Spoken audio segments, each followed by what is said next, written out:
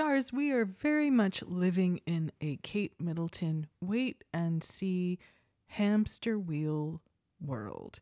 There's a lot of articles that say nothing, that reveal no constructive facts, but point to all different events and all different things. But the one question that we want to know where is she? When are we going to see her? When is she coming back?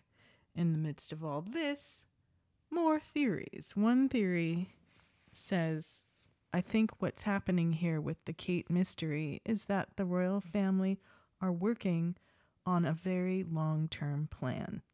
I can imagine that they've mapped out a timeline, say going over five years. Year one, Kate is missing. Year two, Kate unfortunately goes on to glory. William is portrayed as broken and lonely, supported by longtime friend Rose Hanbury. Year three, quiet period. William goes underground for a while, Andrew style. Year four, Rose and William relationship announced. Year five, new king and queen throned. It's just a clumsy example, but the point is that the royal family will resort to a long term plan like this to achieve their goals. William probably feels hot under the collar right now, but he's expecting that and knows it will pass. It's one of the many phases we'll all be taken through over the years that the royal family are relying upon to manipulate us. Years down the line, he's expecting we all will have forgotten the Kate mystery.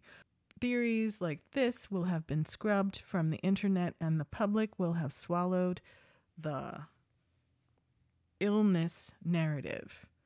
The ones who didn't are just tinfoil hat conspiracy theorists. I suspect the royal family have operated like this from the word go. They've always been psychopathic. Look at Henry VIII, Bloody Mary, etc. They are lunatics. As well as that the royal family are divorced from reality and cushioned from any personal impact or public reaction. It's all a game, like the chess pieces in Harry's book. They're living in a giant world of make believe. They're not responsible for their actions. They have staff and methods to hide their crimes, and therefore can and do get away with anything.